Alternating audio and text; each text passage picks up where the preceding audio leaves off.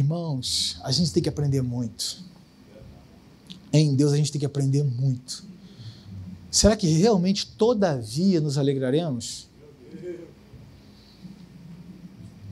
É um momento importante pensar sobre isso. Eu me lembrei de uma vez que eu estava conversando com um cantor bem conhecido que canta uma música dessa, e eu, eu nem tinha até esquecido disso. Eu contei um pouquinho da minha caminhada e ele falou assim: Rafa, como pode? Aí eu falei: ainda que a figueira não floresça. Ele riu e falou: é, eu cantei uma música assim, eu fiz uma música assim. E tem momentos que a gente esquece. Essa é a grande verdade. Essa é a grande verdade. A gente esquece que mesmo quando você não tem nada, Ele é forte. Como me abençoou ouvir isso hoje.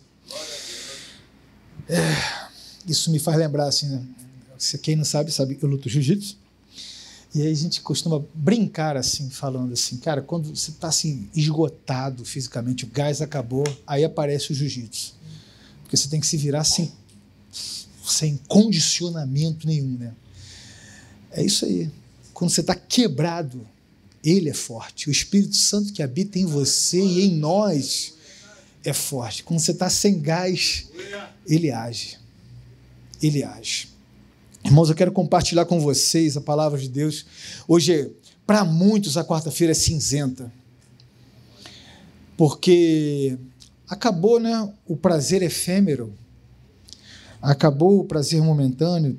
Infelizmente, dentro de alguns meses, vamos ter os hospitais cheios de gente que assassinaram algumas crianças. É muito comum isso. Meu irmão é médico, é da área de saúde, tem pessoas da área de saúde aqui. Isso é uma comprovação, isso é um fato, isso é muito triste. Por conta de prazeres, por conta de falta de controle. Para muitos, hoje é um dia cinzento, por conta de alguns dias, alguns, algumas histórias se deram por encerradas. E isso é muito triste mas estamos aqui para sermos separados por Deus, para que essa história mude.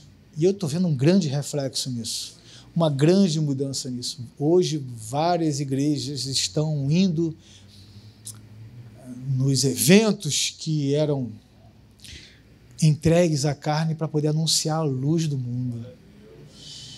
E tem gente que critica, né? A palavra de Deus fala assim, ó, as portas do inferno não prevalecerão contra a igreja. Eu vou fazer uma pergunta a vocês: porta tem perna? Então a gente que tem que ir lá e derrubar a porta. A gente tem que ir lá e meter o pé. Não é dar por propriedade aquilo que não é dele. A gente costuma dar para o diabo as coisas que não são dele. O diabo não tem imaginação. Antigamente era TV, depois era o cheque, depois era cartão de crédito. Agora, cara, irmão, rompe tudo. Tudo pode ser uma grande adoração. Afinal de contas, a criação clama pela volta do seu Criador. Talvez o mundo ainda não saiba, porque a gente talvez não esteja espelhando o mundo.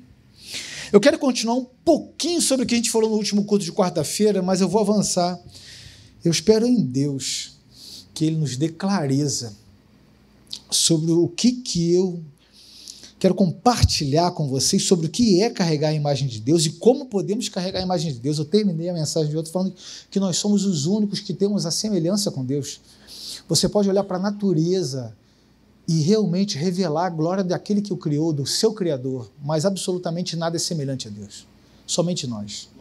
Ele nos criou segundo a sua imagem, sua semelhança, e ele criou segundo a imagem e semelhança, o homem e a mulher criou. Somos semelhantes a Deus nós podemos anunciar a Cristo por conta da sua, da minha, da nossa semelhança. Até que ponto podemos compartilhar isso, irmão? E como podemos fazer que, através do Espírito Santo, todavia nos alegrar? Como isso é possível? Irmãos, eu preciso cada vez mais aprender sobre isso. Porque os desafios não são poucos. Eu estava compartilhando com a equipe aqui, são violentos. Quem está no campo de batalha olha com tristeza pessoas se mutilando, se destruindo. E às vezes as pedradas ferem, e ferem a todos. Eu acho que, como membro dessa igreja, algumas pedradas que foram tomadas por conta do evento do carnaval devem ter ferido vocês e fere a mim. Eu olho nas redes sociais as pessoas falam cada besteira, isso me dói. Porque ninguém faz nada, nem arruma a cama, meu irmão. É asqueroso, fútil. E quer falar de quem levanta e faz? vamos nos converter, e é aqui porque a gente quer amadurecer. Irmão, a vocação do cristão, eu quero ler Colossenses 3, de 8 a 13.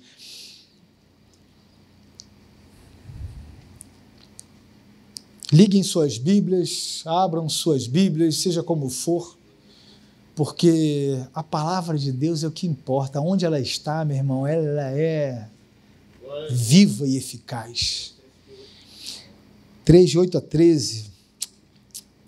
Mas agora, despojai-vos também de tudo, da ira, da cólera, da malícia, da maledicência, das palavras torpes da vossa boca. Não mentais uns aos outros, porque já fores despidos do velho homem com seus feitos. Isso vos vestis do novo, que se renova para o conhecimento, segundo a imagem daquele que o criou, onde não há grego, nem judeu, circuncisão, nem circuncisão bárbaro, servo ou livre, mas Cristo é tudo em todos. Revestivos, pois, como eleitos de Deus, santos e amados, de entranhas de misericórdia, de benignidade, humildade, mansidão, longanimidade, suportando uns aos outros e perdoando uns aos outros. Se alguém tiver queixa contra o outro, assim como Cristo vos perdoou, assim fazei-vos vós também. Senhor Deus, essa mensagem que o Senhor aprove ministrar, ela é extensa e o Senhor seja o ministro dessa noite, Pai. Só me usa. Mesmo sendo falho, aprova o Senhor é isso. Então, que nos dê em nome de Jesus. Amados irmãos, apóstolo Paulo refere a nossa natureza. Ele fala do pleno conhecimento segundo a imagem daquele que o criou. Paulo nos exorta para que os cristãos abandonem seus pecados é um momento bem oportuno para a gente falar, porque vivimos, e alguns, infelizmente, até vivenciou momentos de pura depravação. Quantos irmãos que eu vi que lideravam células, eram vivos e estavam perdidos. Isso me fere, irmão. Me fere porque somos um corpo. E qualquer área do nosso corpo que toca dói. Como podemos mudar isso? Como podemos ser semelhante a Deus se isso não dói a você, se isso não te fere. Essa exortação, como é que pode nos levar à imagem de Deus? Uma das maneiras que é ensinado aqui em Colossenses é de falar que é pela justiça prática, prática do Evangelho, que nos leva à sua semelhança. A gente tem uma forma moral de carregar a imagem de Deus também em Levítico fala ser de santos, porque eu sou santo. Santo não é aquelas estátuas que alguns adoram, aqueles seres que vocês fazem devoções, vocês não, né? As pessoas fazem, nós, graças a Deus, somos livres de idolatria, mas santos separados de Deus, buscar a santificação. O homem cristão, em primeiro lugar, ele tem como dever de glorificar a Deus em tudo que faz. Irmãos, glorificar Deus em tudo que faz é reconhecer que somos falhos também. Acreditem, eu estou só na introdução, tá? Somos falhos. Mas nós podemos nos condenar, nos culpar, nos deteriorar, nos prostrar, ou entender que Deus me amou assim e devemos buscar ser separados em Deus. Um, um, exemplo prático: uma vez o pastor Josué ministrando, ele falou que tinha um jogador de futebol que era bem conhecido, bem famoso, e um dia ele errou uma falta, uma falta assim, ou era uma falta, um pênalti e tal. Ele errou algo assim meio óbvio de ser um gol e, e o time perdeu o campeonato. Quem já ouviu esse pastor falando sobre isso? E aí ele falou assim: aí a, o time o vaiou e o depreciou. E ele guardou isso em seu coração ele nunca mais se reergueu. Irmãos, eu posso ser o único aqui, mas eu acredito que não. Às vezes a gente toma uns golpes que acusa, sabe? Acusou o golpe. Hum, hum, dói, fere. Se a gente absorver isso e tomar essa mentira como verdade, ela se torna uma verdade. Você vai acabar sendo inútil para o reino. Não estou falando como maldição, é porque se você crê naquilo que você ouve, para você se torna uma verdade, uma verdade que é uma mentira do inimigo. Ele está querendo só te anular. Muitos recém-convertidos é tentado a falar sobre isso. Cadê seu Deus? Quando eu estava na minha caminhada em santificação, em santidade, buscando a face de Deus, quantas vezes? Cadê seu Deus? Quantas vezes? E eu te confesso que algumas vezes eu falo assim, poxa Deus, dá uma moral aí. Porque às vezes acusava o golpe. E geralmente vem de pessoas muito próximas. Porque os distantes não iam diferir. Por isso que a gente entende que amar o próximo é aquele próximo mesmo. Porque os distantes, a pedrada do distante não chega até você. Isso não vai acontecer. Qual é a forma moral de, de mudar a nossa imagem, ter uma imagem de fato semelhante a Deus? Como você vê as pessoas, como você vê a si mesmo. Irmãos, eu já li um pouco sobre, sobre o que aconteceu nesse carnaval. Algumas igrejas foram para campo de guerra. E o inimigo bate retirada, meu irmão. Porque onde a luz, a treva não consegue. Se você apagar a luz aqui, fica tudo apagado e acender o meu celular, a luz prepondera mais. No meio das trevas, qualquer luzinha é luz demais. Agora, se a luz ficar meia boca, você acender um pouquinho mais, você é mais um meia boca Agora, no meio das trevas, meu irmão, teve um irmão que foi parado no ônibus e falou assim: Qual palavra você tem para mim? Você está atento a isso? Será que a gente está mais suscetível, como homens, aos ataques morais? O que eu quero dizer com isso, irmãos? Como homem que somos, eu me incluo, graças a Deus, nesse pacote nós somos tendenciosos a olhar a falha do outro e não a sua. E, pasme, até se alegrar. Se a gente não vigiar para ser a face de Deus, acaba acontecendo. Vocês já viram que hoje as pessoas não têm muitos amigos? Tem networking. Amigo? Amigo não vai produzir melhor. Tem networking. Cara, como o mundo produziu pessoas isoladas. Glória a Deus pela nossa visão, que a gente tem pelo menos um discipulado. Se você não é útil para o crescimento do outro, você é extremamente descartável. O pastor que lá da. Sempre esqueço o nome do Canadá. Ele falou isso. As pessoas perguntam, são muito educadas, muito evoluídas no Canadá, e perguntam como é que você está, mas eles não querem saber. É uma forma só de cumprimentar. Você fala assim, não estou bem, ele, ok, e mete o pé. Não quer saber. Aqui eu acho que é um pouco inverso, porque chorar com os que choram ainda tem muitos homens, mas se alegrar parece que não. Acontece algo vibrante na sua vida, olha a sua volta, com quem que você vai se alegrar? Porque todos são motivos de alguma coisa, você tem que ser útil para alguma coisa. Quão desprezível é os relacionamentos hoje. Se você não é útil, você é fútil. Como é que você pode viver para Deus? Se você tem que extrair algo de alguém, não, porque a pessoa me capacita a ser melhor, é claro. Mas um relacionamento de amizade, meu irmão, vou te falar um segredo: o amigo vacila pra caramba. Mas é meu amigo. E a gente chora, a gente ri. Cadê os amigos? Por que, que os homens estão tão isolados, estão morrendo isolados?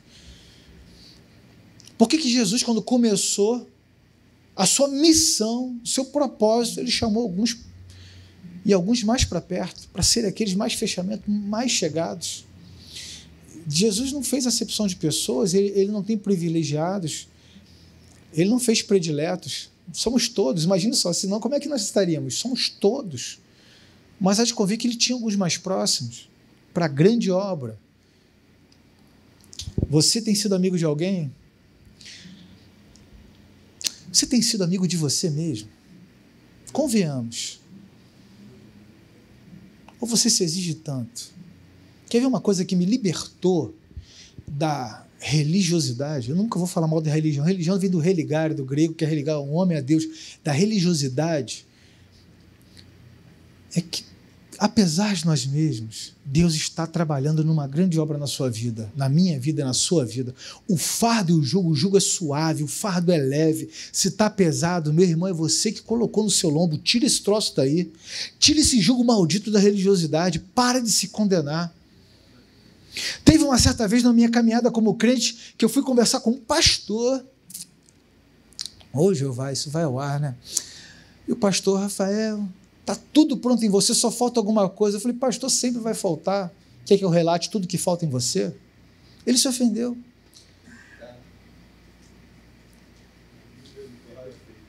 Eu falei, eu relaxo com isso, eu estou em obras, eu estou numa construção. E foi, tipo assim, foi na lata. Assim, pá, pá. Eu matei no peito e meti. Porque eu já escutei tanta.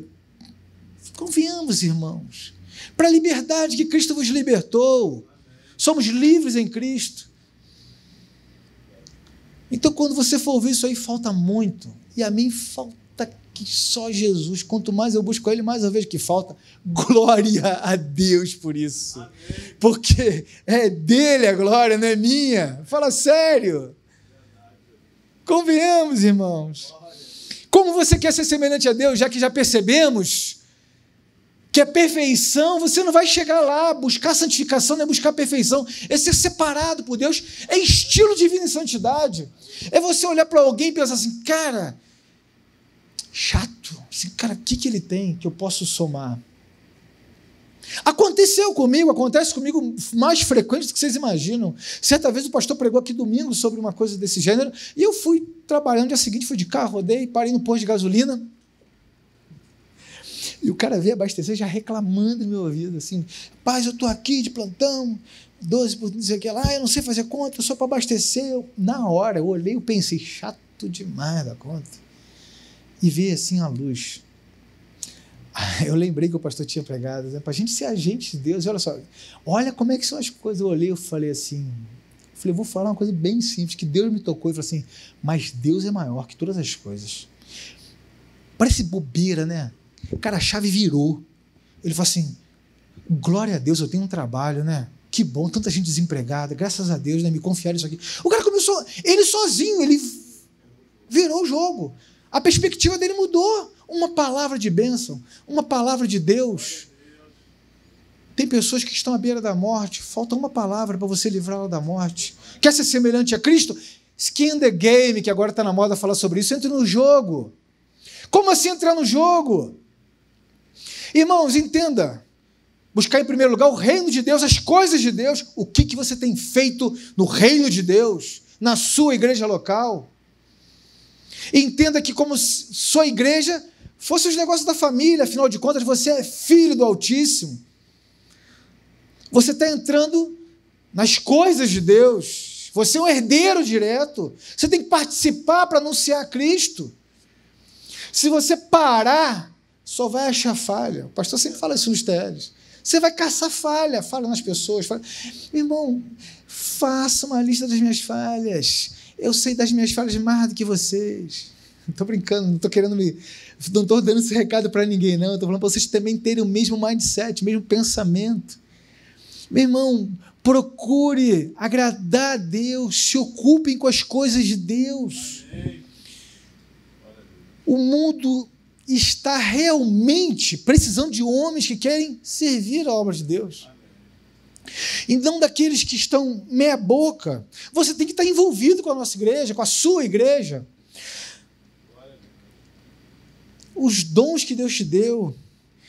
Irmão, você vai encontrar gente desanimada, eu encontro pra caramba. Demais da conta.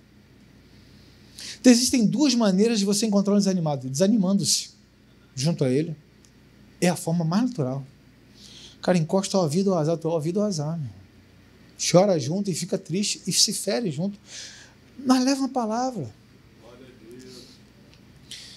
Quando você encontrar alguém, irmão, não importa quem, seja um pastor, seja o grande líder, dê uma palavra frutífera para ele. Deixa algo que seja marcante. Não para que você possa se achar o tal, mas que para isso te mostre mais semelhante a Deus. Você vai ser cada vez mais semelhante a Deus. Você vai ser cada vez mais a face de Deus. Vocês já pararam para pensar nisso? Cadê os homens nessa grandiosa obra? A missão de encher essas cadeiras de homens carentes da glória de Deus não é minha. É de Deus e Deus está elegendo vocês para isso. Porque se vocês estão recebendo de Deus aqui, eu creio que há, porque Eu não tenho que acrescentar, Deus tem que acrescentar. Há de convir que tem homens à sua volta que precisam disso. Precisam ouvir acerca de Deus, precisam ouvir acerca do reino de Deus. Você deve estar envolvido no, no, no reino de Deus, você tem que ser o exemplo. Entendam que isso aqui é parte do seu processo de santificação. Irmãos, eu vejo pessoas que as que mais reclamam, que mais murmuram, são que menos fazem. A lista de falhas, as listas de reclamação das pessoas que não estão envolvidas em absolutamente nada. Na verdade, não quer se envolver. Sabe por que não quer se envolver? Porque, convenhamos, os prazeres da carne dão prazer a elas, elas não querem abrir mão dos seus pecadinhos de estimação, como costumam falar, aqueles pecadinhos que levam para o inferno, que chamam de estimação. Fala sério. E aí vão falar, meu irmão, quando você está ocupado na grandiosa obra de Deus, você esquece. Eu tinha oito anos de idade. Óbvio, não era crente, fui ser crente com 22. E eu tive um problema sério renal. Sério, meus rins pararam. Foi um dos primeiros milagres que eu experimentei. Eu fiquei internado no hospital Grafeguini por meses por um especialista, um gastro, é, gastro nefrologista, virulento, top demais. Não sei se eu já falei isso. Meus rins literalmente pararam e um deles assim, funcionava um pouquinho de nada. A minha urina, a minha bebida era totalmente milimetrada, não comia sal e tal. Minha mãe ficou comigo meses lá. Minha mãe defiando comigo. E tem um dia que levaram sal. Minha mãe, ah, meu filho está melhorando, nem me deu. Aí parou tudo. Naquela época não tinha plano de saúde, não tinha nada disso. Aí eu, eu fazia exame de sangue o dia inteiro, cara, eu tomava agulhada o dia inteiro. Aí o médico foi lá, o especialista. Inclusive estava começando a disseminar a AIDS no Brasil, ele estava falando muito aos repórteres que ele era um cara bem top das galáxias. Aí ele falou assim: olha, se não voltar nada até o fim do dia, é hemodiálise e fila do transplante. Minha mãe, com a sua, com a sua fé, rezou, porque minha mãe era católica e rezava, rezava, rezava, rezava. Chegou de noite, na hora de ir para a fila, ouviu o que aconteceu, os meus rins voltaram a funcionar. 100%. Um milagre, ao tal ponto que o médico falou assim: Olha, eu não vou cobrar meus honorários porque eu não fiz nada para curar ele. O que eu quero dizer nessa história é que às vezes eu podia andar de cadeira de rodas no hospital. Oito anos. E eu via gente tão queimada, criança, bebê, toda queimada, que só podia uma posição para dormir de tanta dor que sentia. Eu estava mal, mas eu não sentia dor nenhuma. Aí você vê a dor do outro, meu irmão, você esquece a sua. Você esquece. E convenhamos, eu escuto muitos homens aqui. Muitos. A batalha é muito forte, é muito dura. Mas tem alguns que eu, gostaria, um já falei, Falei assim, irmão, vou te falar uma verdade. O dia que você tiver um problema de verdade, você vai entender o que eu estou falando. Vocês entenderam o que eu quero dizer? Porque tem problemas de verdade. Tem pessoas que têm problema de verdade. Se você estiver cuidando dessas pessoas, você vai ver, meu irmão, que Deus está agindo debaixo da sua graça na sua vida. Que você é um privilegiado de Deus até por estar aqui. Essa geração de mimimi tem que acabar, tem que cair por terra. Vamos cerrar nossos punhos e avançar na obra redentora do Cristo. Vamos ser cooperadores. Será que quando chegar tete a tete com Jesus, ele vai falar assim: aquela família, o sangue é de ser cobrado a tiros? Vai falar assim: é, mas o marido era chato, o pessoal reclamava, ah, mulher. Tem pessoas que vão te ser cobrado. Eu creio nisso, de verdade, eu creio, senão não estaria aqui. Irmão, de verdade, não estaria aqui. Mas quando se converter ao Senhor, então o véu se tirará. Ora, o Senhor é espírito, e onde está o espírito do Senhor, aí há liberdade.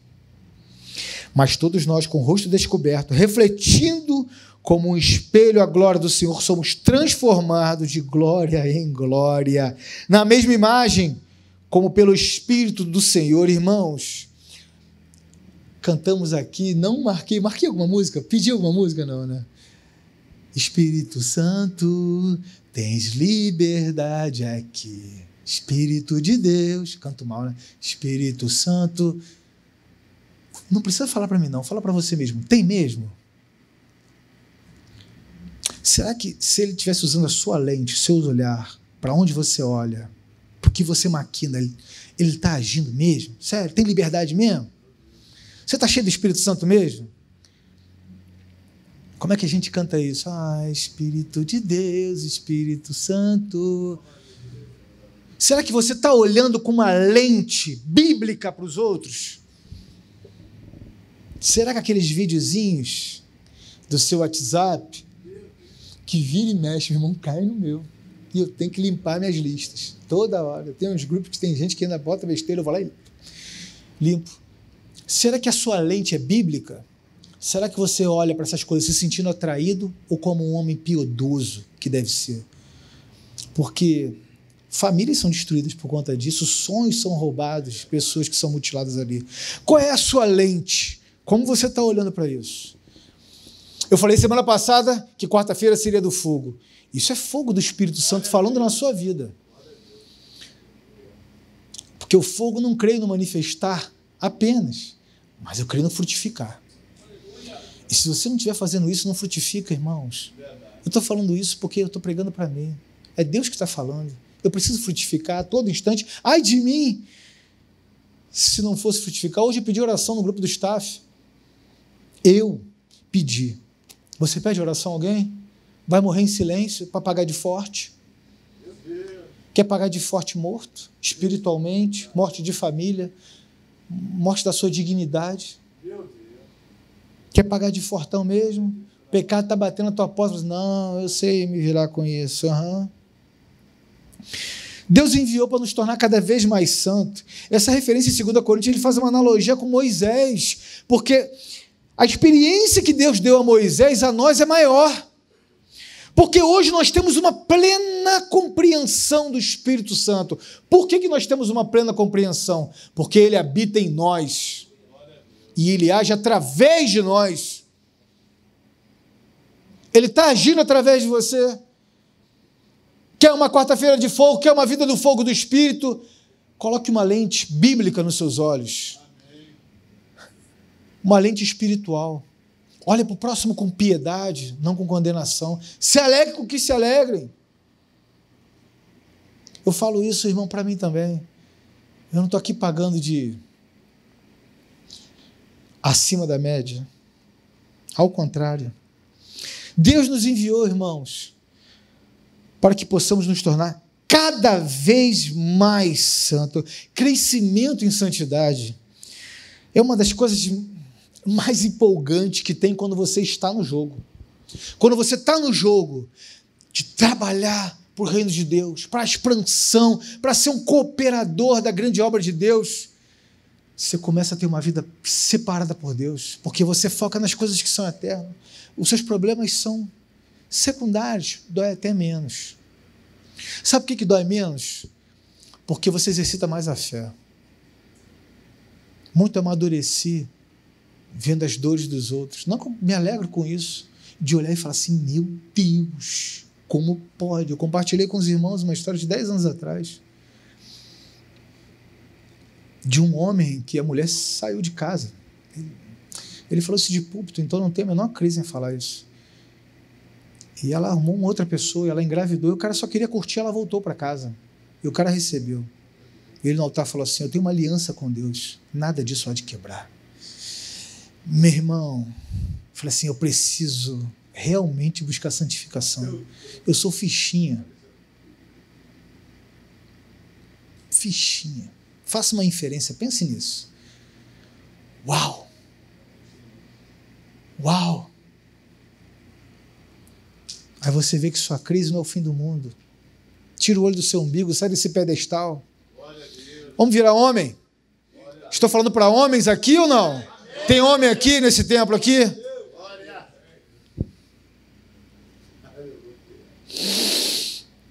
Como a gente faz isso, irmãos? Como a gente faz isso? Eu vou botar minha lente. Primeiro ponto, palavra de Deus. Se você não souber com o que está lidando, você não sabe com o que está fazendo.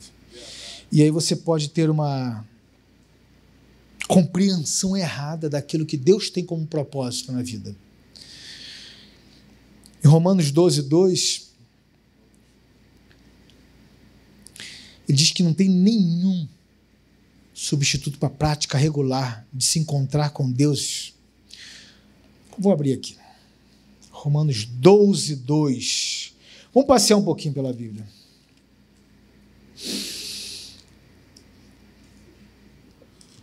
Graças a Deus temos tempo. Romanos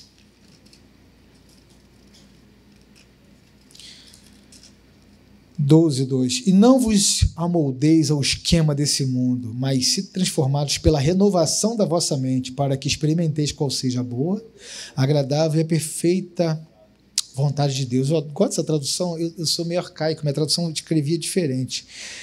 Não há nenhum substituto para isso.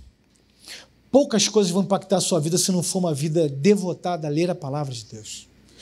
Poucas coisas vão te mudar. E uma das coisas que mais me surpreende é que se criam falsos deuses. Eu ainda vou pregar sobre isso. Falsos deuses.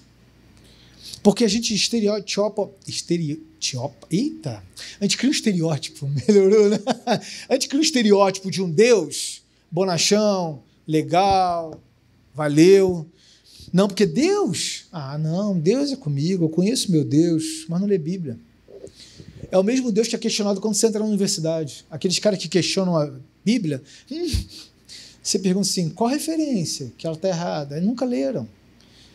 São só papagaios, repetições, repetições. A gente cria um tipo de Deus que parece ser um. Como é que se fala? Aquele, aquele, um amuleto em que você clama ele por último e aí você balança, dá três pulinhos, ou seja como for. Você tem o pleno conhecimento do Deus que serve lendo a palavra de Deus. Há revelação maior do que nas Escrituras. Absolutamente jamais você vai encontrar outra revelação maior que essa. Se vós permaneceste na minha palavra, sois verdadeiramente meus discípulos. Conhecereis a verdade e a verdade vos libertará. Quer ser livre? Olha a condição: permanecer na Sua palavra. Como você vai permanecer na Sua palavra? Se você não a lê. Lê a Bíblia, irmãos. O diabo sabe disso, sabe bem disso. Na Bíblia diz que ele tentou Jesus na palavra. As coisas são tão violentas, tão violentas. Eu estava conversando com o irmão lá do, no container dos homens, que eu falei assim: no meu seminário, toda aula, sou formado há 10 anos, toda aula cada aula tinha um livro para eu fazer um resumo. Ou, na próxima aula, falar sobre ele. Algum trabalho eu tinha. Então, por semana, eu tinha seis, oito livros para ler e para fazer trabalho. Eu li e escrevia demais da conta, não fazia outra coisa. Era um seminário puxado demais, muito conteúdo. E, e vários avivalistas, e vários teólogos, e várias histórias, e todos, e aquilo, aquilo, aquilo, aquilo. Aí teve um belo dia que eu, pum, parei. Irmãos, eu tinha quase dois meses que eu não lia a Bíblia. Eu, opa! O negócio tá bom, hein? Vamos botar ordem na casa. Lista de prioridades? Bíblia. Eu estou falando que a coisa é sutil, meu irmão. Os trabalhos estavam indo bem, a estava indo bem, tudo indo bem, tudo indo bem, cada um com seus comentários, mas eu não estava formatando a revelação de Deus para mim. Eu tinha as opiniões daquele, as opiniões daquele, as opiniões daquele, mas a palavra pura. Estou te falando da sutileza que há de você parar de ler Bíblia. O pastor José falou isso nesse domingo no TL. Tem crente que lê Bíblia duas vezes por semana e tem crente que nem lê. E eu estou aqui, irmão, confessando que eu cheguei a ficar quase dois meses já. Dois meses é coisa demais da conta. Você está quanto tempo sem ler Bíblia? E diz que ama a Deus? Ama mesmo? Fala sério. Eu não estou aqui para te condenar, irmão. Antes de falar sobre isso, eu falei de mim. Quem sou eu? Estou falando para que a gente possa ter um crescimento no Espírito Santo. Os sinais que precedem o avivamento da glória de Deus, a manifestação da glória de Deus, vem de homens que buscavam continuamente nas Escrituras a face de Deus, buscavam profundamente. O jejum antigamente era nesse formato, mas buscavam tão profundamente na palavra de Deus que paravam de comer não é porque eles estavam assim, não, estou no propósito, não, porque eles se aprofundavam tanto nas Sagradas Escrituras que passavam as horas e não se comiam nada. Só buscando, buscando a profundidade, buscando a profundidade de Deus. Esse era o jejum. Você sabia disso? A prática do jejum no Novo Testamento era precedida de ter uma resposta. Buscava profundamente na palavra, em oração, e com isso jejuavam para ter uma resposta específica sobre um assunto. Não adianta agora falar assim, não, porque eu estou em jejum, porque eu estou querendo ganhar aquilo lá. E aí, para o meu deleite pessoal, então eu estou jejuando para isso, irmãos. As coisas têm que estar caminhando de acordo com o propósito de Deus na sua vida. Eu rogo ao Senhor pela sua vida, meu irmão, para que você avance no seu ministério. Que seja o ministério inicial do seu lar, mas que você busque nas Escrituras como devemos ser. Isso me incluo, volto a lhe falar, eu me incluo nesse pacote. A transformação pela palavra de Deus precede o avivamento, o manifestar da glória de Deus, do seu Espírito Santo, aquilo que o mundo vai vir até você para buscar de Deus ou para te atacar, pre precede palavra de Deus, primeiro. Segundo, oração. Há um poder sobrenatural no homem que ora. Há um poder incrível, transformador na oração. Uma vida comprometida com a oração, irmão, é essencial para que você torne homem, segundo o caráter de Deus. Amém. Poucos homens, ou não, nenhum homem, que tem uma vida dedicada à oração, não foi usado por Deus. Todos eles foram usados por Deus. Todos eles que buscavam a Deus em oração foram usados por Deus. É praticamente impossível você encontrar um homem que é usado por Deus e falar assim: Eu não oro. Ele vem, faz e vai. Meu irmão. Grandes homens buscavam profundamente a face de Deus, ao ponto de, de ser a coisa mais importante. De só saio daqui se você falar comigo. Mais uma adoração que a gente teve aqui hoje. O que, que eu vim fazer aqui? Eu vim falar com Deus. Meu irmão, eu não marquei as músicas. Por Deus, eu estou escutando aqui, estou lembrando que está aqui, já estava escrito antes. A vida se transforma pela oração. Tudo o que pede, recebe. O que busca, encontra. E a quem bate, abre-lhe-á. Em Lucas 10, 10 fala que tudo aquilo que você pede, você vai receber. É claro que ele não está falando de orações para que, olha, eu eu ganhe, meu time de futebol ganhe, ou que eu consiga aquilo para que eu possa ostentar na, no meu grupo, na minha comunidade, né? Para quem me viu chorando vai me ver no altar, essas coisas estranhas. Não. As coisas de Deus estão prontas para serem entregues àqueles que oram e clamam aquilo segundo o seu propósito. Amém.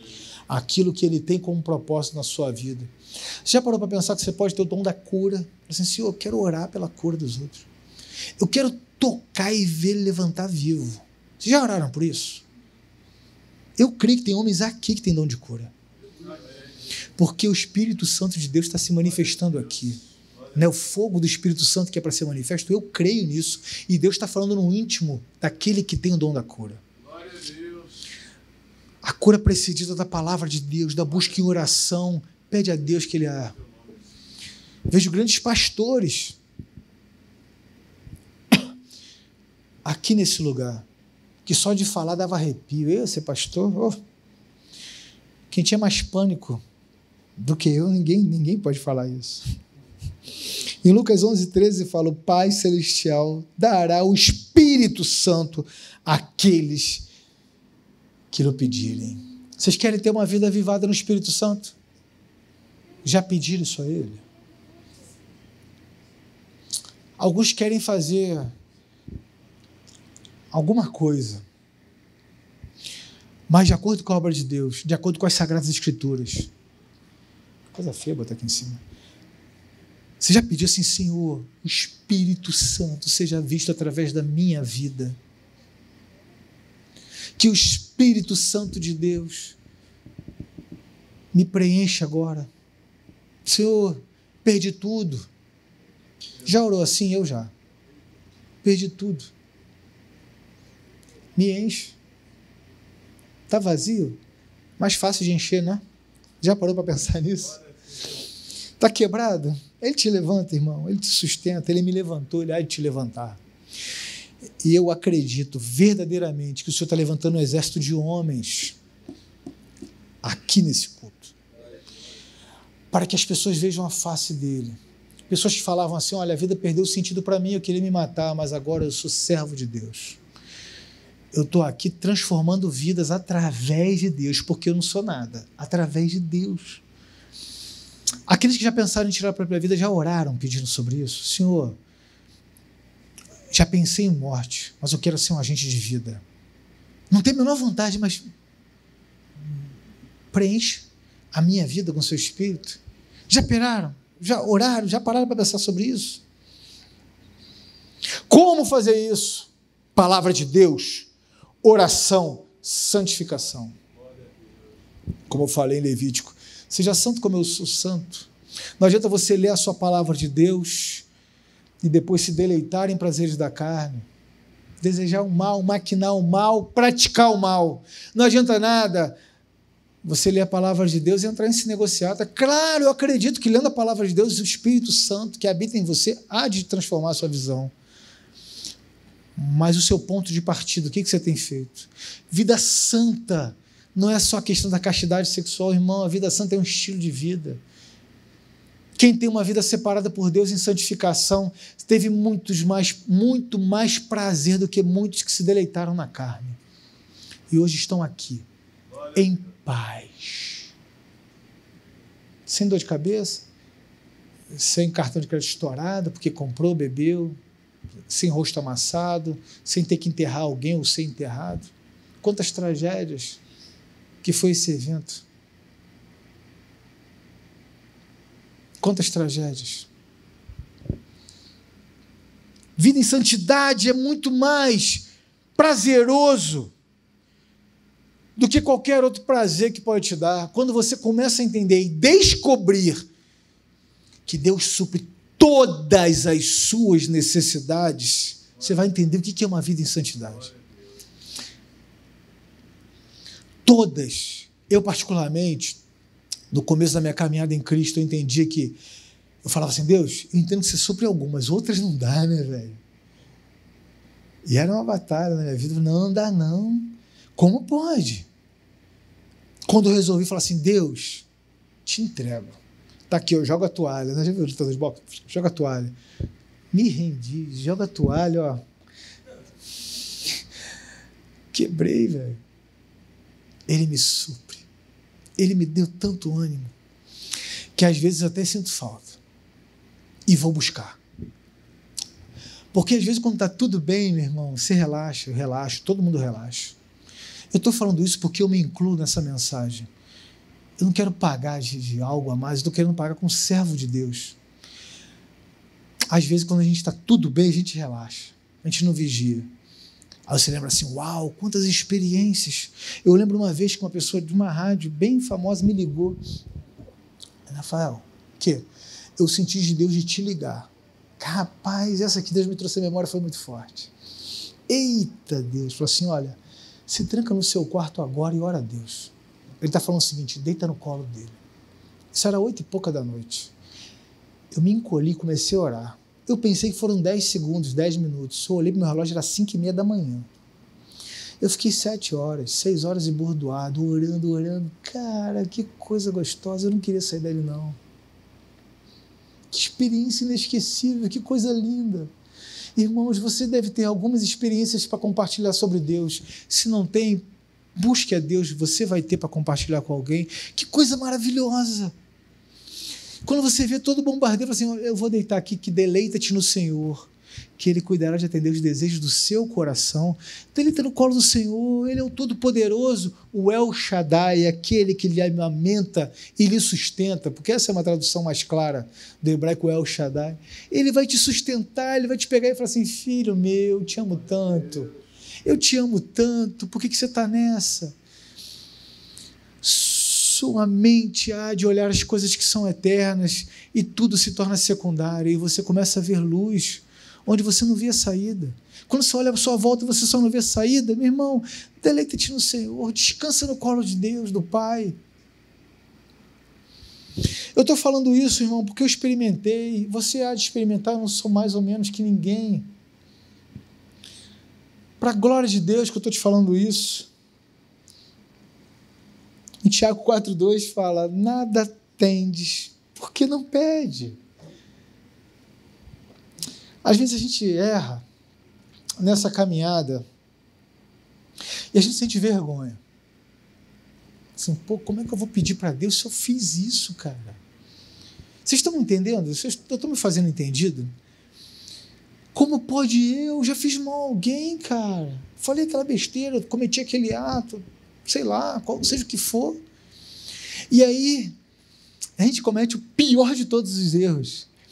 É querer pagar de Deus, e Deus não divide o trono com ninguém. Quem somos nós para produzirmos condenação para nós mesmos, homens? Deus tem uma proposta de vida nova na caminhada com Ele, desfrutando da Sua palavra, da Sua intimidade através do Espírito Santo. E a gente pensa assim: eu já cometi tanto erro, eu não sirvo para isso. E eu me condenando, se Ele já pagou por todos os meus pecados. Ele me ama, ele está assim: eu tenho uma grande história para construir, eu te desconstruí para te reconstruir, filho. Pede! A gente não pede, a gente cai na malha do inimigo de novo. A gente não pede. Assim, Deus, me sustenta. Você já orou assim, falou assim, Deus, eu estou querendo cometer um mal contra mim mesmo. Que isso vai me afastar de ti. Deus, me sustenta. Deus me impede. Impede de fazer isso, o Senhor pode. Tinha um pastor, tinha um, ele era pastor, ele não era pastor na época, ele foi meu colega de seminário, policial. Eu estava num grupo de homens, eu ministrando, e eu falei, ele veio falar comigo, ele falou assim: ele, cara, sabe por que eu estou aqui hoje? Não, conta aí. Ele, um homem me fechou e me humilhou na frente da minha família. Eu procurei onde ele morava. Eu estava lá a noite inteira, eu estou aqui de virado, eu estava lá a noite inteira. Ele ia sair, eu ia matá-lo. Quando ele saiu, eu senti assim: não dá. Eu, como assim não dá? Ele, eu estou aqui porque eu não sei. Alguma coisa aquele homem poderia ter. E um propósito, Deus tinha com aquele homem que queria matar. Às vezes, eu estou falando de morte real, né, de arma de fogo e tudo mais. Às vezes, a morte que você está prestes a cometer é a morte do seu trabalho, da sua família, da sua intimidade com Deus, da sua célula. Irmão, não conheço ninguém que fechou uma célula e, e, e fala assim: não, eu estou melhor do que antes. Eu não conheço um.